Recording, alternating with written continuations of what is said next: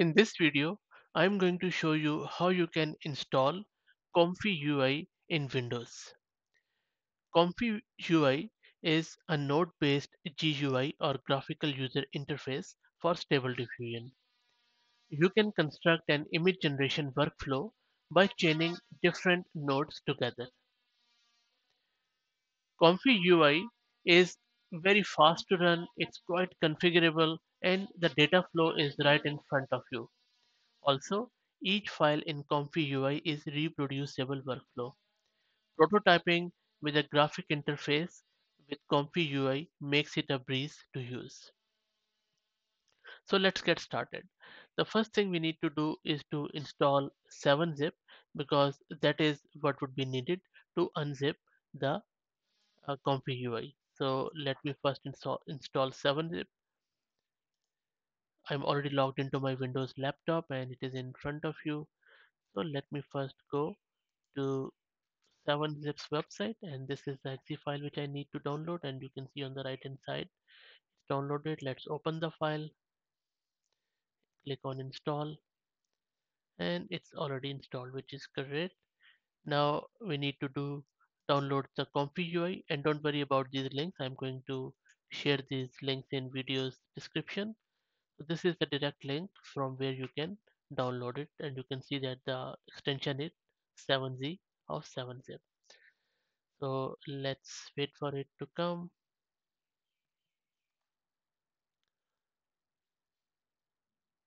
It's almost done. And the size is pretty big, 1.54 gig, and I'm installing it manually. And I would suggest that if you're installing it on your Windows laptop or even in cloud, use the uh, standalone zip file to download it. It's almost done, just consolidating, that is cool. Let me open the folder where it has downloaded it. So this is our folder. Now right click on it and then 7-zip, just say extract here. Let's wait for the extract to finish.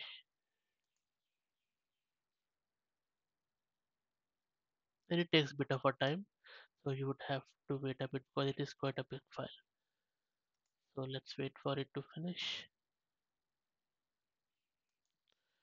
Extract is done. Now after the extraction you will see a folder with the name ComfyUI Windows Portable as you can see on your screen. Double click on it and then there you have your ComfyUI. Now we need to put a checkpoint model first in order to start using this ComfyUI. A checkpoint model in Stable Diffusion is a pre-trained Stable Diffusion weight model for generating a particular style of image. What kind of images a model generates depend upon the training images. A model won't be able to generate a cat image, for example, if there is never a cat in the training data. So that is primarily the checkpoint model is. So in order to do that, go to this ComfyUI Windows Portable, then again into ComfyUI, and here go to the models, and this is where we need to put our model in. Now, in order to download the model, uh, let's say you have the model URL. For example, I want to download DreamShaper 8. So this is the model.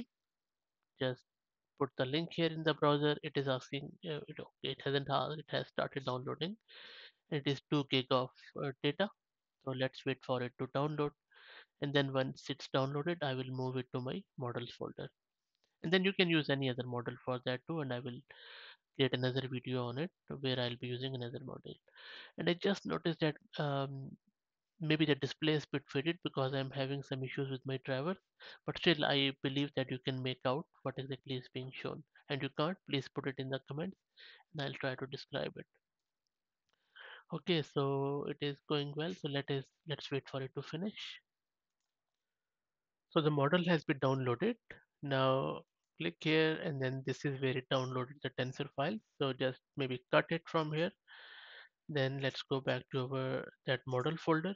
Here you will see a checkpoints folder. So just click on it and then put check just paste it here. So that's done. Beautiful. Now let's go back to our um, Comfy Windows Portable folder and then uh, either dub- right click or double click on this NVIDIA GPU because my laptop has NVIDIA GPU. So it is running. Let's wait for it to finish. And if you don't have GPU, don't worry. Just click on CPU. It will run, but it will take long time. So there you go. So we have our, uh, you can see that we have our this uh, ComfyUI running and you can see the workflows here. If you look into the browser, it has opened this ComfyUI on your local system on the um, default host. Now let's let me give you a very quick overview of ComfyUI.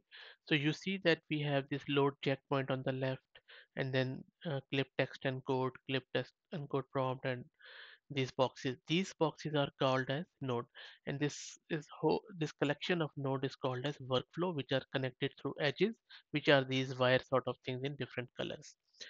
Now this is a whole workflow of text to image production. Now within each node we have three things. We have input. Input is these yellow dots and text clip clip and yellow dot. Output is this on the right hand side the dots are called as output and in between the things are called as parameter you can also just click on it grab it and move it across to see it more clearly as you can see i'm moving it so fairly easy so this is the whole idea behind this ComfyUI that you can build a workflow with the help of nodes and every node has input, output and parameters.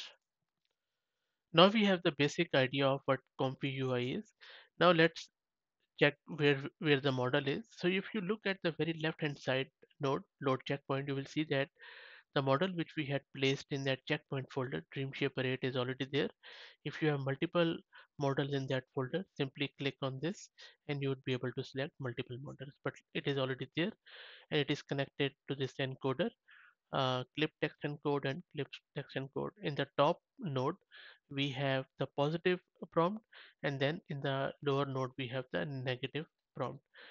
Um, so these two nodes which are labeled clip text encode prompt they are for our prompting and if you see that the top prompt is connected to our KSampler let me just make it like this. So you can see that this one is connected to KSampler. Case sampler is primarily the engine which converts the text into image with different parameters as you can see here seed steps and all that stuff.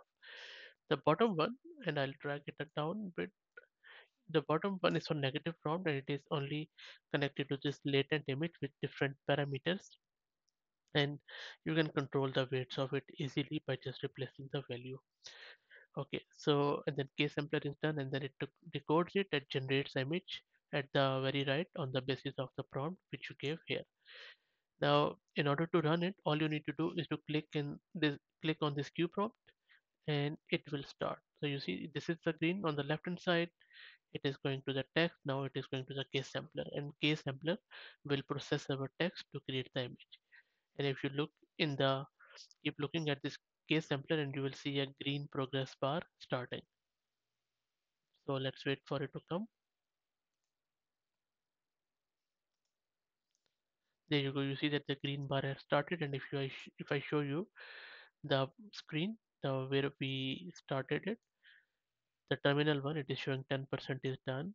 So you can just monitor it side by side and it will show you what exactly it, it is doing. If any errors you will also see them here and depends upon your gpu and your system how much fast it goes. So let's wait for it to finish. So as you can see that it was done and it took around 259.65 second in terminal. And look at this. Uh, let me remove this. So it has finished. It has generated this beautiful image on the basis of our text prompt. And the prompt was beautiful scenery nature glass bottle landscape purple galaxy bottle and look at the quality of this image. How cool is that? So we have loaded this model DreamShaper installed it and then we have run it. Uh, i believe that this is great. And uh, you can just give it any prompt and then it will generate the image for you locally on your windows system with this stable diffusion model. I hope that you enjoyed it. If you are stuck if you are facing any issues please feel free to let me know in the comments. And of course if you like the content please consider subscribing to the channel. And thank you very much